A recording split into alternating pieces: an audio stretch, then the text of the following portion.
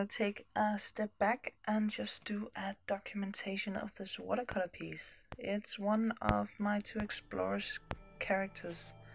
I'm not gonna get much into who they are and what they are about, but I want to make a story about them at some point when I've developed them a bit more. Anyway, let's get into this.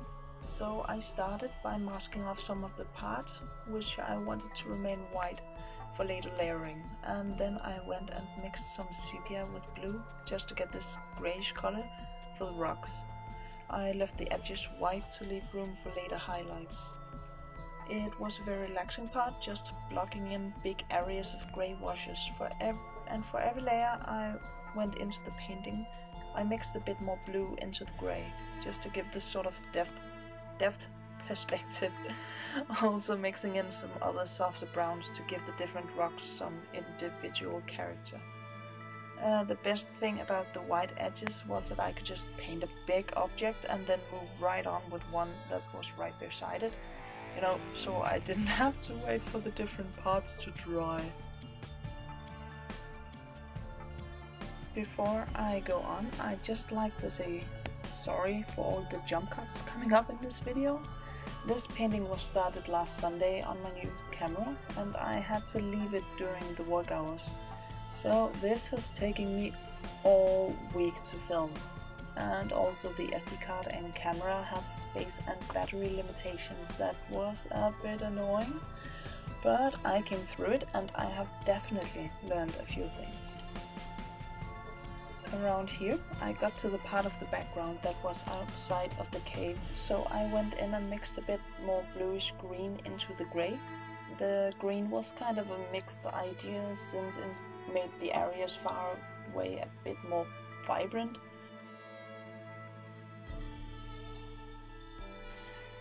Um, this part though is in between days so I forgot where I was going and mixed in some water browns um, because hey, sand. Uh, yeah, that did not exactly work to start with. But then again, I had a very it had a very interesting effect near the end of the painting after some other washes, but we'll get into that much later.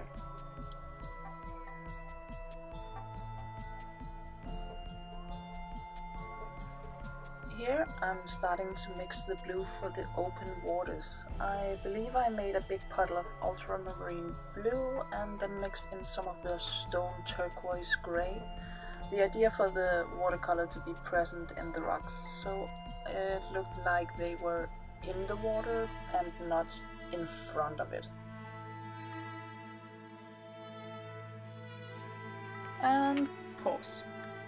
Time for the masking fluid to come off. In reality, it probably should have stayed on for a bit longer, but this also marks the three day marker of filming.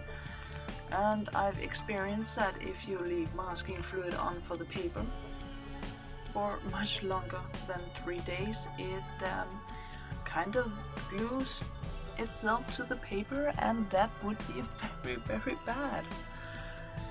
Um, though to be fair, it could have been an interesting look for areas, but it wasn't exactly what I was going for. So time to focus a bit on the foreground. I went in and darkened the rocks in the foreground, this time with a bit more warm grey. This grey I believe is the same mix as earlier but with a bit of burnt umber mixed in just to give the foreground dimension a much stronger effect. I also color over the areas of the rock that used to be behind the masking fluid, just letting the color come through but still keeping the area much brighter. And thus it's time for the moss. As you can see, I started with brown before mixing in the sap green just to give it a more desaturated look. And again, I'm just blocking in areas. This time, however, because moss has a more fluffy texture than the rocks, I didn't do the white edges. Uh, this helps to differentiate the textures a bit. I mix in some emerald green for the seaweed coming up in a bit and just to give them a much different tone from the moss but still working in the uh, on the same foundation of color.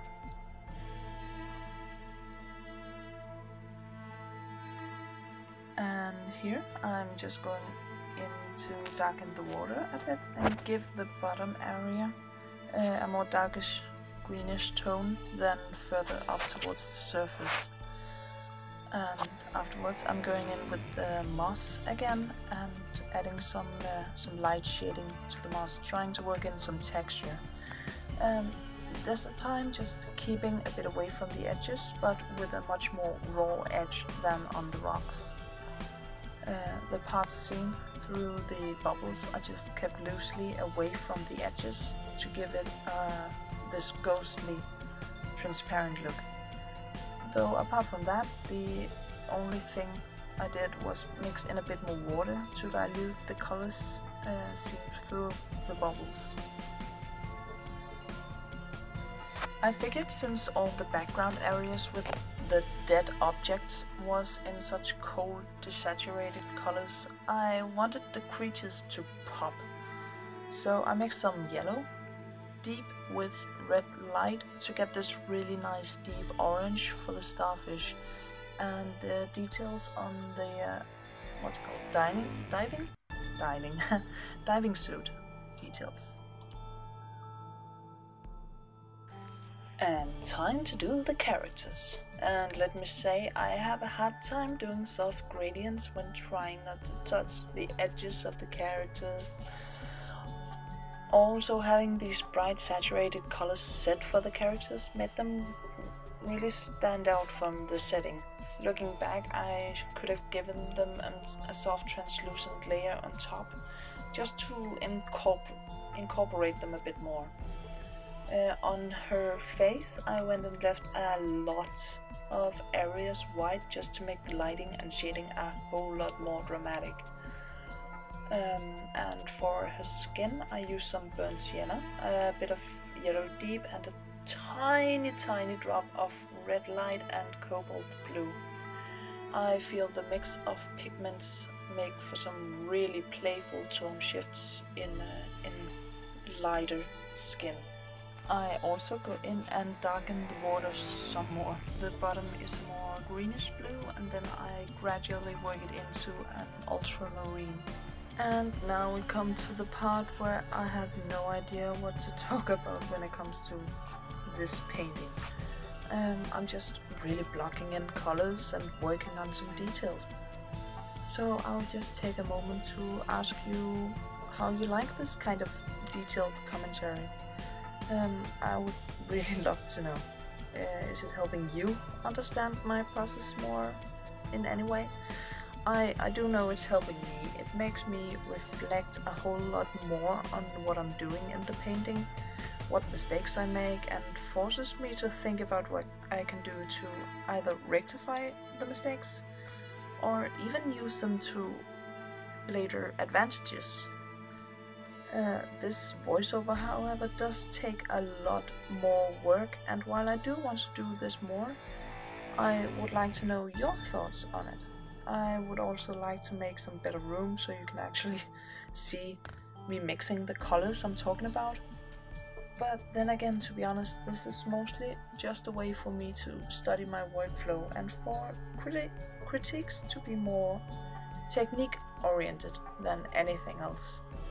Um, critiques is a subject I'd really like to make a video about, but uh, right now all I want to say is that it's really hard to critique something you do not know how it was made. If you know the thought process behind something, you have a much better chance of understanding the choices and give critique to what can be done differently. So here I'm just going in with a darker, more saturated green for the moss, shading and giving it some more texture. I also forgot to soften the spots on the starfish before the paint dried, so I'm going in just with water and working the dried up dark spots into the orange of the starfish. And right here, I've also realized that I painted the neck part of her bodysuit the color of her skin. So I do prize myself lucky that I'm going to cover up that part with shading. This makes the overall color seem much different and more green than the rest of the suit and that is a bummer.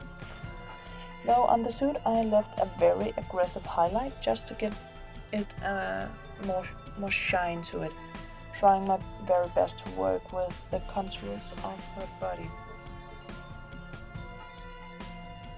This jump cut is one of the more annoying ones, but I didn't realize the camera was off while I put some heavy shadows on the parts bathed in light. I then washed the entire area with a yellow, and then I went and put that yellow into all the white edges of the foreground rocks.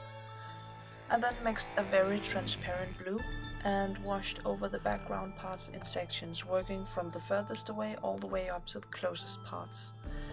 This gave the different colors of the layers in the background a much more uniform hue. Looking back though, I wish I had made the blue much darker or gone over the background outside of the cave area once more just to darken it up even further. It would have helped differentiate the background much much more and I think it would have worked a lot better. And now it's time for the heavy shadows. Oh, I love this part of watercolor painting because it can just really make a huge difference. Also, it looks like you ruined everything when laying down the shadows, but when it dries, it just lightens a bit and the colors are given this kind of filter, making the shadows even more effective. So just don't be scared of shading in extra dark, it will just give it this extra pop what I usually do is create a cold purplish shade of grey for the shadows, but since this is underwater, I went and used the rock grey mixed with some ultramarine. And to get this uniformity throughout the painting, I used the same color for all of my deep heavy shadows. And since the watercolor transparency will make the original tone show through, giving each area its own unique shadow color. This, however, also made me realize how much she disappears into the background with her entire outfit being nearly the same colors as the background. So I just went over the entirety of her outfit with the, the yellow just to give her a warmer tint. Um, also giving the areas of her skin towards light a dash of the same yellow and then I went just went on with the dark shadows. And now we're almost done. I'm gonna address this. So this is the part where I'm supposed to take a huge step back and look at the painting with completely new eyes. But I forgot. Yeah, this had been a week underway and I was so ready to move on. So I went head ahead and was a silly fish. Had I given myself the time, I would have gone over the background with a dark blue, once again just to differentiate the midground and the foreground a whole lot more. But I'm still practicing how much I can allow myself to darken the background and who wants to bet that my next try is gonna leave me with a way too dark background? But hey, that's the pain and wonder of becoming better, am I right? It's supposed to be a journey, and I don't really know about you, but I have yet to unlock fast travel. Oop, sorry about the jankiness. I'm also still learning how a tripod works, and I'll try for the movements to be a lot more smooth, but thus far, all, all I have is a janky tripod. So I'd like to know if you like the panning or if I should just go ahead and jump cut to the details. And all in all, I think this turned out great and I like how this entire video turned out, even if there was, has been a few jumps um, and mistakes. But I've learned a lot, both about my new camera, about filming, and especially also how I personally watercolor. Ooh, starfish! I'd also like to finish up by saying that I'd forgotten how much I love these characters and I need to make some more from their adventures. Although I have no idea what they are called apart from them being my my two and little explorers. So let me know if you have an idea or just really want to share some techniques. Um, anyway, I'm gonna be off now. So, yeah, you have fun, take care, and bye.